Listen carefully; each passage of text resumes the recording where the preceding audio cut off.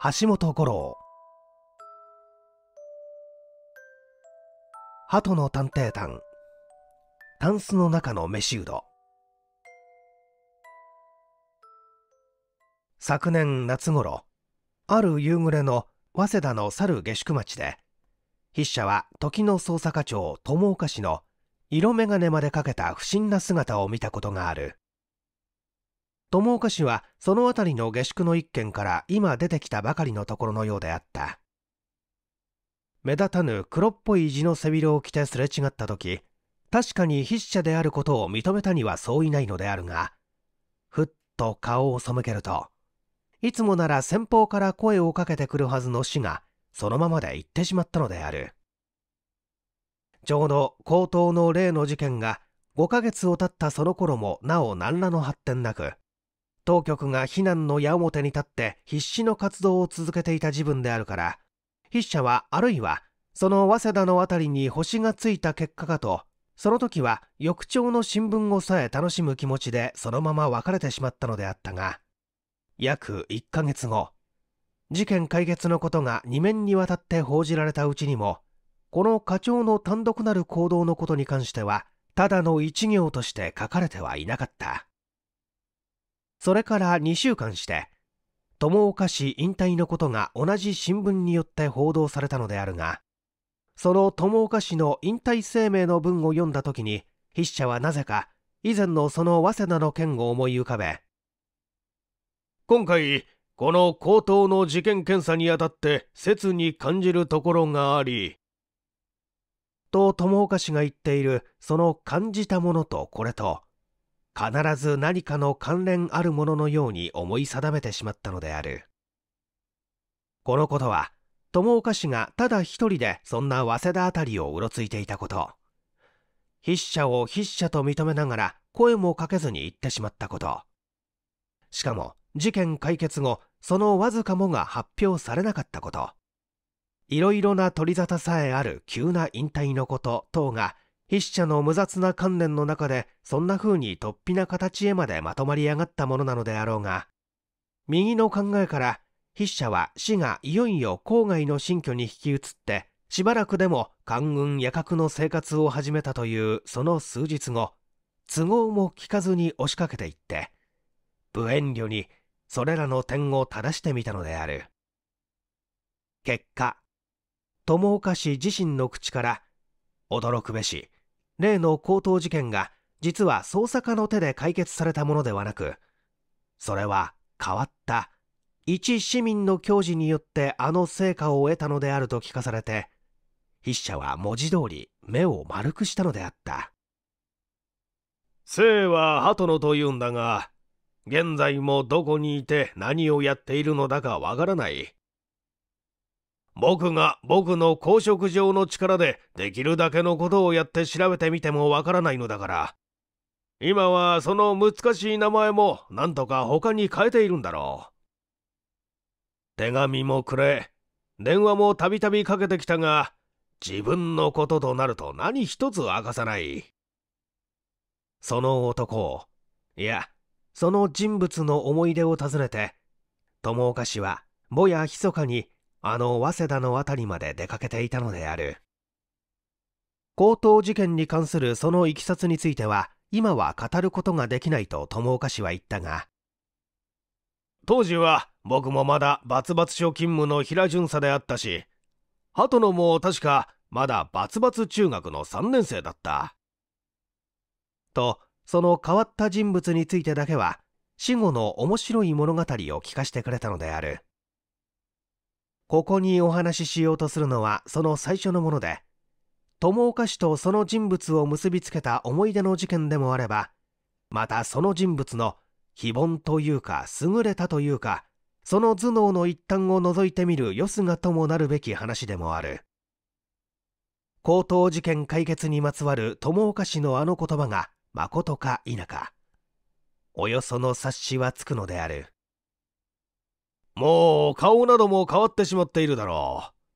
声は電話で覚えているがあの早稲田の同じ下宿で鳩野は隣国の留学生か何かのようにいつも一人でつつましくいる少年だった。どんなことから口を聞くようになったか覚えていないが非番の夕食の時などに昨日あったつまらない事件をでも話してやると目を輝かして聞いていた。僕が恐ろしい子供だと思うようになったのは今話すこの事件に鳩野が得意な意見を聞かせてくれたからだ。以来至難な事件のたびにどこからか僕に忠告や教示を与えてくれて僕の地位をあのようにまで高めてくれた。僕は鳩野の頭を考えると自分の食上の地位がいつも空恐ろしくてならなかったものだ。鬼とまで言われた友岡氏をそんな言葉で短ぜしめた当時17歳であった少年はではどんな事件からまず人々を驚かしたであろう。この事件は17、8年前の春に遡るのである。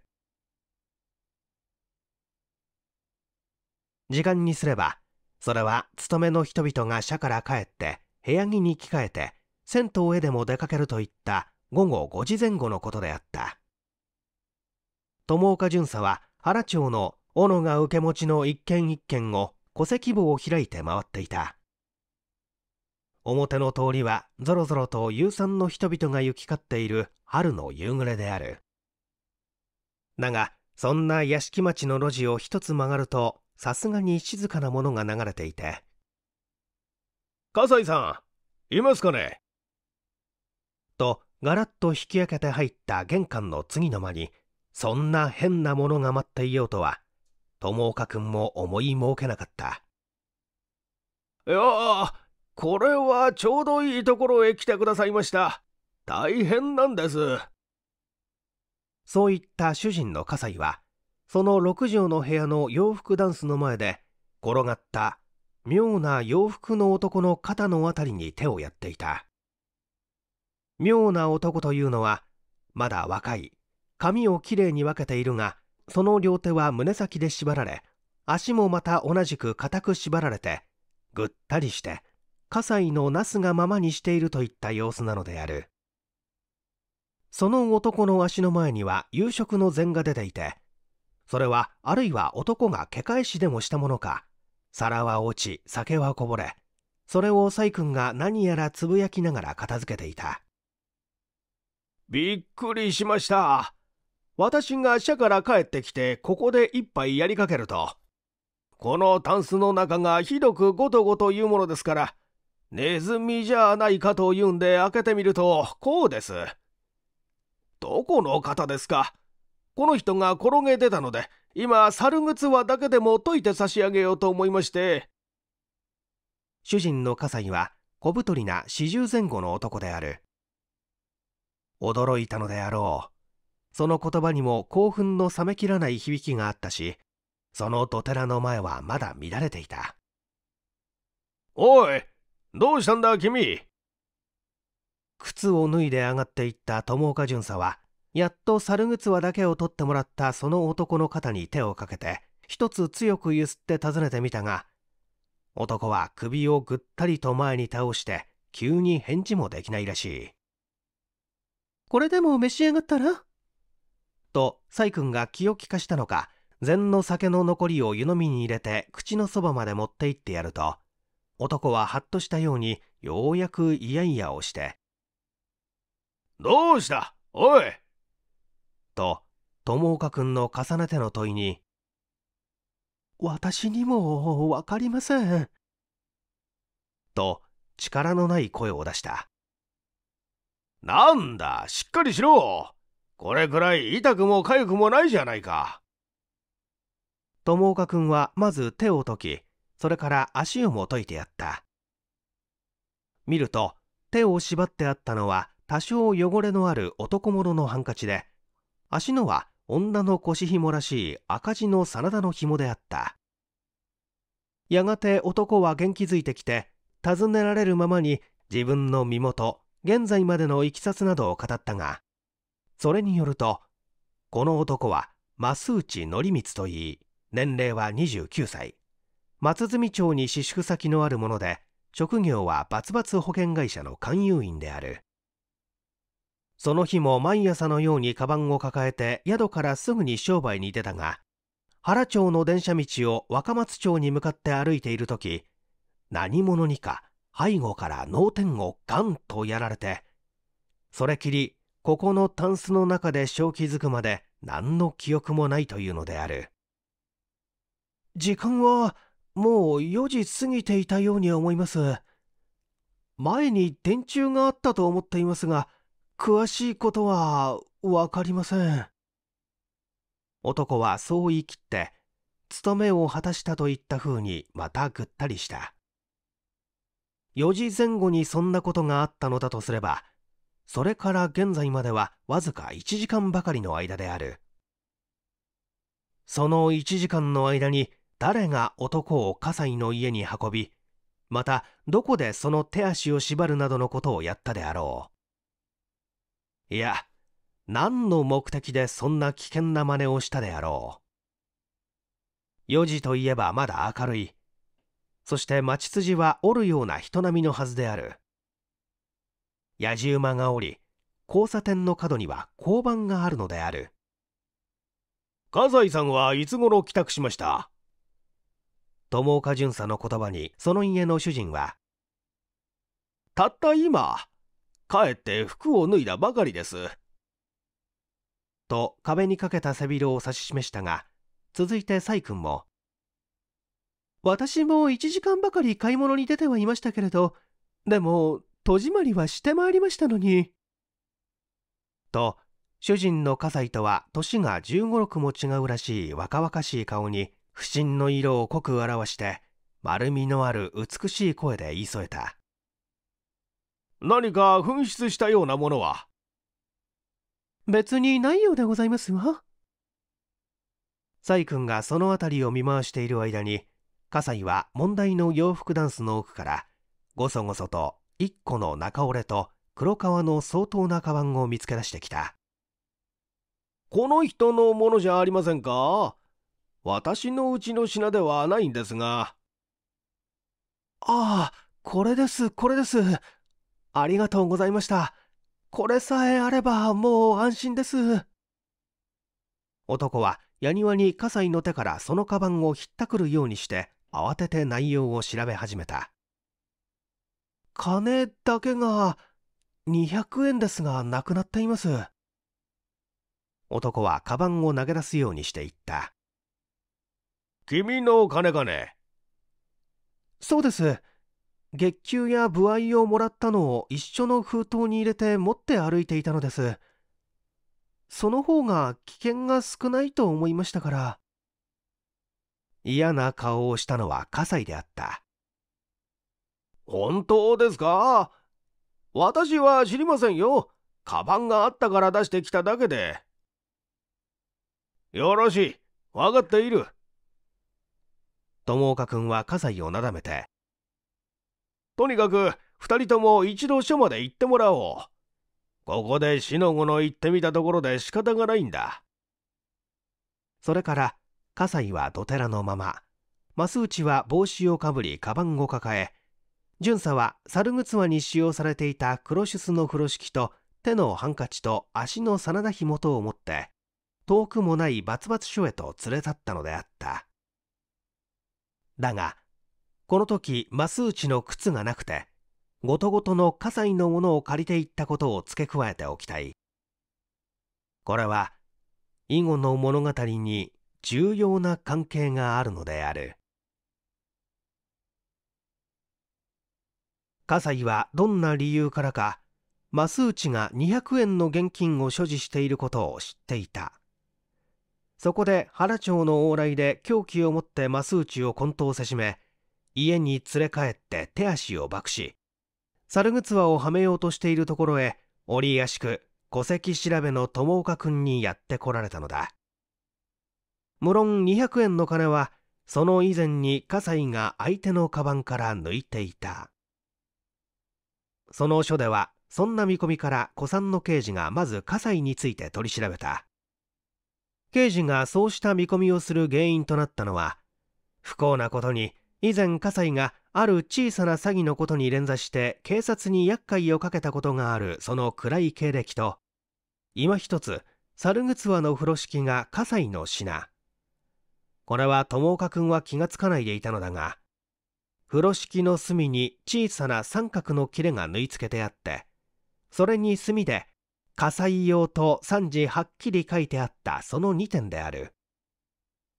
葛西自身がその風呂敷を使用したか葛西の宅でそれが使用されたかどちらかは動かすことのできぬ事実となる。これは巧みな刑事の尋問によって葛西がその風呂敷が己の所有品で昨日もある。買い物に使用したとすでに述べていたので確実である。しかし葛西はこの度に限って自分はあくまで潔白である。と言ってこうも弱みは見せなかった。丸の内にある葛西の勤め先の会社へはその間ももう電話がかけられていた。またその細君一人の留守宅へも別な刑事が捜査に行った。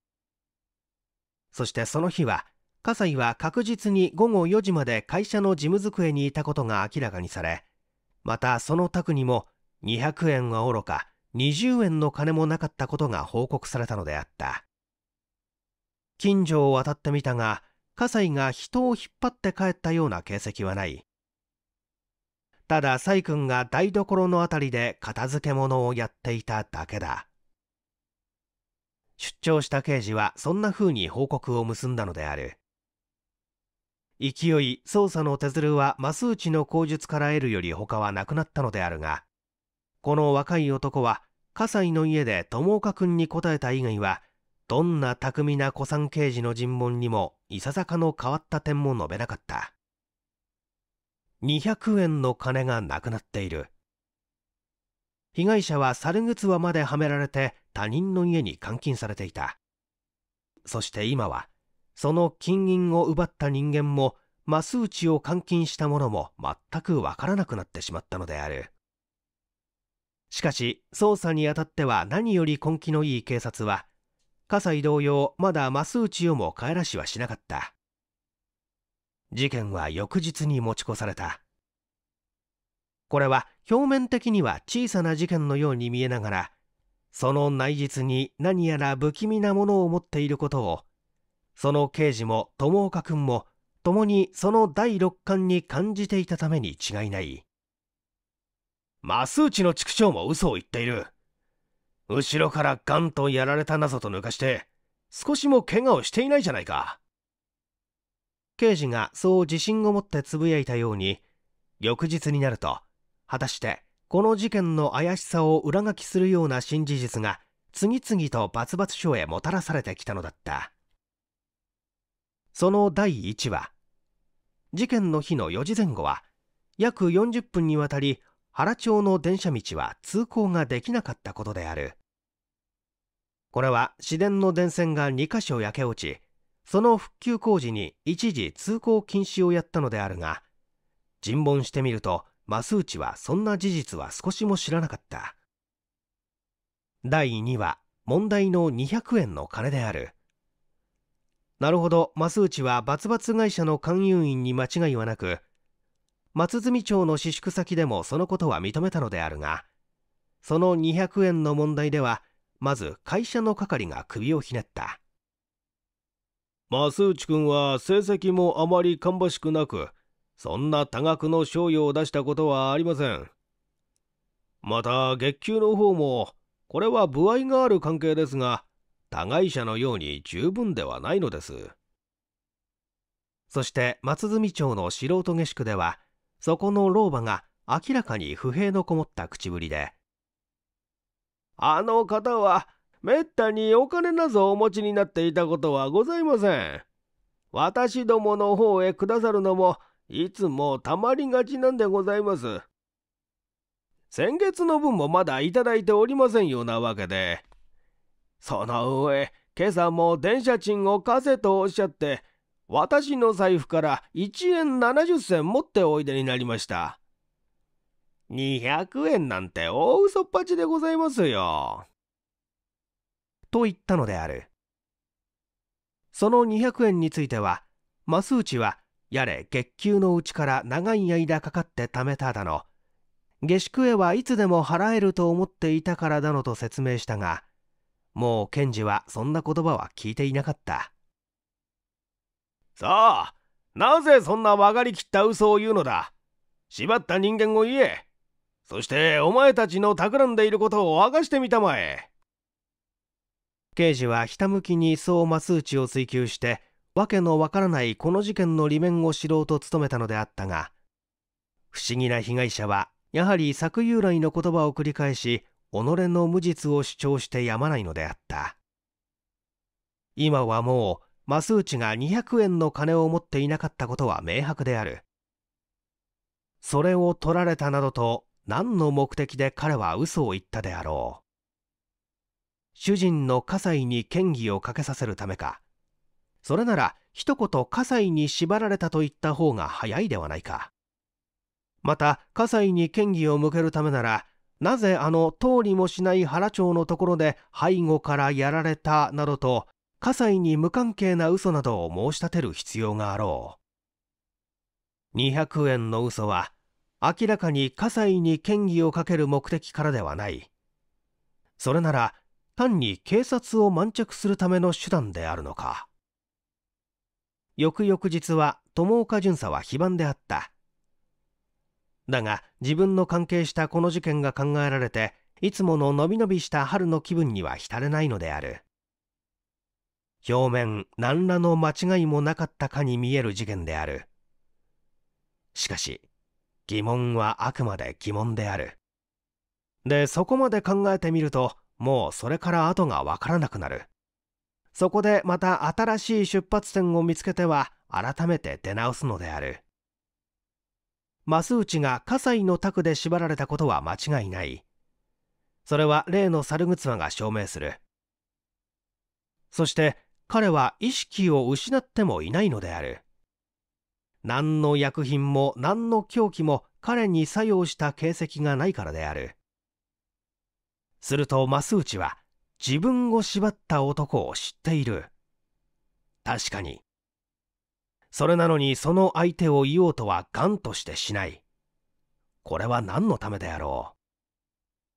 その縛った人物に迷惑がかかってはいけないからか。では増内を縛った男はそれほども増内へ対して権力を持っているのか。増内はその人物からなぜ縛られたろ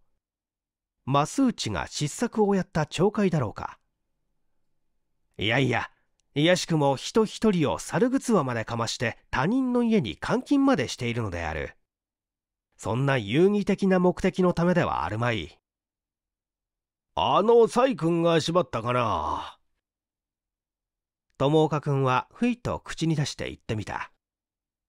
だが自分のこの考え疲れた精神に苦笑いをした。サ君が決して縛ったものではないことはすでに2日間の取り調べで彼女は左中関節に固執を持ち以前からそんな強い動作はできなかったこと。あの日彼女が買い物から帰ってきたのと夫の葛西が会社から帰ってきたのとはわずかしか時間の上では差がないこと等から分かっていたのである。葛西も知らぬ。サイ君も知らぬ。紛失物も何一つない。そして増内は縛られ見も知らぬ人の家に監禁同様にされていた。誰が何のためにそんなことをやったのだ。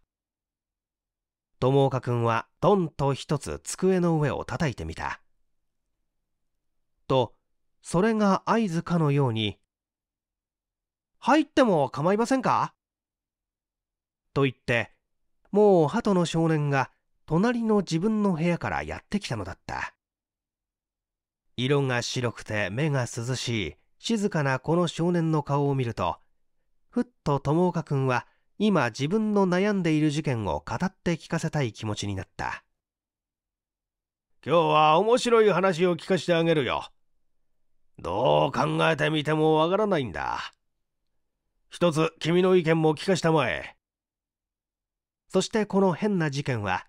過剰左半時のように友岡君によってこの恐るべき少年の頭脳に語られたのである。友岡君が語り終わると少年は第一番に「そして増内という人の靴はどうなりましたやはり見つからないですか?」とその点を反問した友岡君がそれはまだ操作していないと答えるとしばらく考えてから僕だったらそれを最初に探すんですがね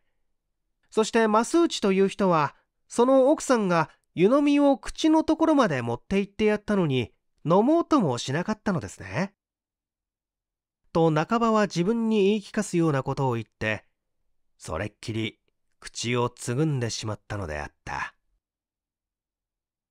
友岡君はその夜から再び勤務するのである。で時間が来たのであくる日の退所までにはどうにかしてその靴のありかも突き止めてみると言ってこの少年との話を打ち切り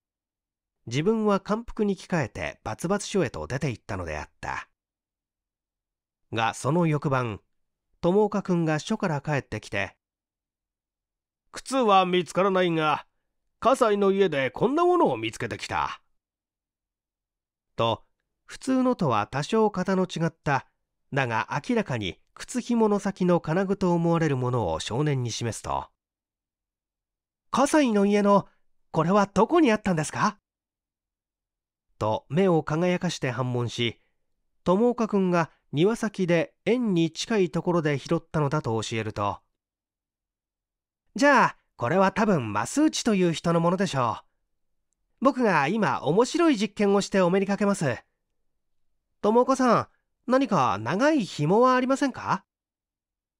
少年が何か興奮しきっているので友岡君は面白いと思った。そして自分の部屋から氷を締める布団を一本持ってきたのであるがそうしながらも少年がその金具を増内のものであろうといった言葉について怪しんでいた。というのは友岡君はその日増内を訪問して彼の靴に使用されていた金具がそれと同種のものであることを確かめていたからである。友子さんこの紐とそれからこの風呂敷とこの押し入れに入れておきます。それから僕がこうして中に入ります。それから押し入れを閉めます。もう友岡さんには僕が見えないでしょ。僕が合図したら押し入れを開けてください。ちょっとですよ。鳩の少年は自分の押し入れへ入ってしまった。友岡君が何を聞く暇もない速さである。5分も経たぬうちに、そうして押し入れの中がごとごととなった。もう開けてもいいのかね？友岡君が言葉をかけると、その返事のように押し入れの戸が二度、ゴツンゴツンと中から何かで叩かれた。友岡君はタバコを捨てて立って行ってそれを開けた。と中から「どうしたものだ」鳩の少年が例の不当で足を縛られ紫で手をハンケチで縛られてさらに風呂敷では猿靴輪をかまされて愉快げにごとごとと転がり出てきたではないか昨日あれから一晩僕はこの押し入れの中で考えたんです押し入れはタンスの代わりです。で、これだけの発見をしたんです。友岡君が少年の猿靴輪を取ってやると、生き生きとした調子で少年は言った。まず自分が自分の足を縛る。それから猿靴輪をする。その後で自分の両手と口とでもって自分の手を縛るのです。猿靴輪も仕様によっては口のくぼみだけは使うことができます。順序を違えるともうできません。手を縛るのはこんな風にやるのです。少年はとくとくとしてその手の縛り方をやってみせた。友岡君は驚いてそれを見ていた。これは何という思いもかけぬ発見であろう。増内が自分で自分を縛ったのだとすると、事件は非常に性質の違ったものとなってくる増内が何者かに葛西の家へ連れ込まれたのではなくてそれは自ら行き自ら洋服タンスの中へ入ったという過程も生まれてくる。増内が何かを秘し警察をまで嘘で満着しようとしていることは最初から分かっている。それなら彼は何がために事故を縛り何がために葛西の家の窮屈なタンスの中へなど入ったであろう。何から隠れ何に現れるために己を縛りなどしたであろう。よし増内が自分で自分を縛ることもできるということは分かった。だがなぜそんなことをしたんだ？何の必要で？それは増内という人がタンスから出たいためです。いや出なければならなかったからです。多分少年は答えたなぜ？なぜタンスへなど入ったんだ？それは葛西という人に会いたくないからです葛西に？どうして？それは僕にはよくわかりません。しかし、この増内という人と葛西の奥さんとは何か関係があるに違いありません。そうだ。あの細君のことを忘れていた、と友岡巡査は心で思った。が、二人の間に習関係があるとして、葛西が帰ってきたので驚いてタンスに入った。それはわかる。がそれならなぜタンスの中をごとごと言わして自分から相手の前に出てきたであろ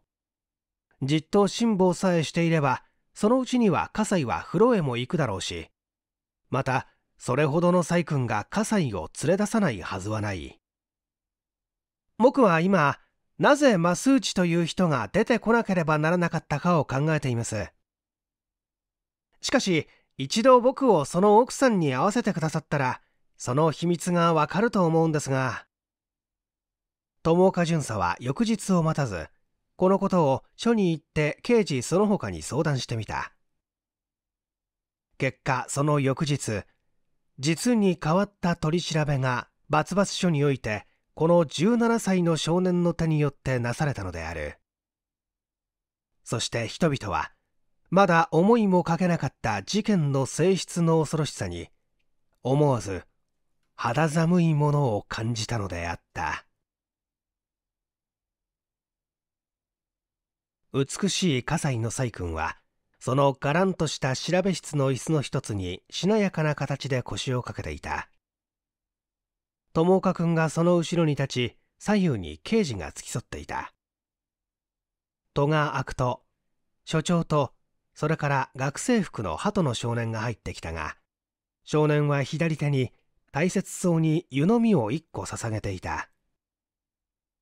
奥さんと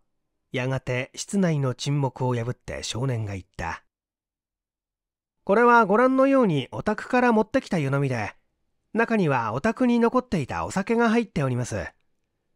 今これを奥さんに飲んでいただきたいと思いますが、お嫌ではありませんでしょうね。サイ君は少年から湯飲みと聞かされた時、わずかに顔色を変えたようであった。だがその言葉を聞き終わると、とてもたくさんはいただけませんけれど、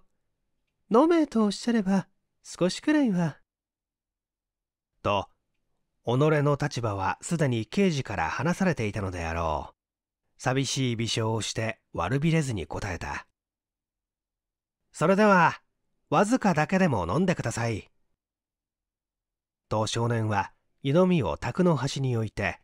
同時にポケットから何やら小さな紙包みをつまみ出して開きながらこれもお宅の茶の間の畳の目から取ってまいったものですがこれを元のお酒の中へ返します。ご覧のようにあるかないかわからぬくらいのわずかですが、これで奥さんがご主人におすすめになったお酒と同じものになりました。これで召し上がっていただきたいと思うのです。少年はサイ君の前にその白い粉を入れた湯飲みを突き合った。サイ君はしばらく笑いかけていた。調べ室は白々としていたみんな口を結んでサイ君の手元を見つめていたサイ君はやがておずおずと白い手をその湯飲みに持っていったが と口の中で笑ったようであった。そしてすぐに硬い表情に変えると今度は静かに人々のいかつい顔を見回して恐ろしいもののようにちょっと手を引っ込め飲めなかったらどうなりますの？飲めないわけを聞かせていただきます。少年が言った。細君のまなじりがぎゅっとつり上がって急にその柔和な層が引きつった。と思うとすっくと立ち上がって。よく見ていらっしゃいよ皆さん。叫ぶと顔を空ざまにガーッと湯飲みのものを飲み下した。さあみんな飲んでしまいました。飲んだらどうなるというのです？私が死ぬとでもおっしゃるの？嫌な亭主に何を飲ませたって。そんなにサーベル下げた方々が4人も5人も怖い顔をして女一人を取り巻いていなくたって。かわいい坊ちゃんね。それから急に左右の刑事を跳ねのけて細君は鳩の少年に向かって飛びかかったがそれより早く友岡巡査の手が後ろから彼女を押さえてしまっていた。僕は増内という人が靴を履いていなかったと聞いた時にもうそれは増内自身がそこへ上がっていったのだと考えたのです。鳩の少年は半ばはにかみながら人々に語った。勝手に上がっていけるというのは奥さんと増内とが面識があるという意味になるわけです。しかもこの面識が主人の葛西へは秘密であったことはあの時の3人の態度で十分にわかります。おそらく時が来たので増内が細君と別れて帰ろうとした時にいつもよりは多少早く主人の葛西が帰ってきたものでしょう。そこで慌てて増内はあの洋服ダンスに入ったのです。誰もいないタンスの中で誰が増内を縛るでしょう。増内は自分で自分を縛った。何のために？それは自分が奥さんに関係のない人間でありまた家財へ対しても盗賊などではないということを見せるためです。200円の紛失は思いもかけぬ友岡さんの出現に苦し紛れの答えだったのでしょう。それはともかく増内がなぜそんな苦心をしたかを考えるとただ一つどうしてもあの時に増内はそんな無理をしてまでもあの座敷に踊り出さないではいられない何かに直面したことがわかります。あのタンスの引き手のところに56分ぐらいの小さな穴があるそうですよ。増内はそこから座敷を見ていたのです。そうしてその座敷にどうしても彼が飛び出さないではいられないものを見たに違いありません。何でしょう？葛西夫婦のむつまじげな食卓でしょうか。どうしてそれくらいの辛抱はあれほどの嘘をついた増内にできないはずはありません。ではもっと重大なことといえば人。人が人を殺している。自分が出ればそれを助けることができる。そんな場合のほかないではありませんか。僕はそう考えたのであんなトリックを用いてみたのです。いいえ細君に飲ました酒はただの酒。粉は白木の粉です。増内は係官の尋問に耐えかねてついにその事実を明らかにしたがそれは全て鳩の少年の言葉と同じく彼はその両親から身を挺して葛西の一命を救ったのである。後で調べてみるとその細君の親というのがやはり殺人罪を犯している男だったんだが。いや恐ろしいものはいつも壁一重向こうで笑っているんだ。友岡氏はそう話を結んで筆者には細君が用いたその毒薬の名前はついに教えてはくれなかった。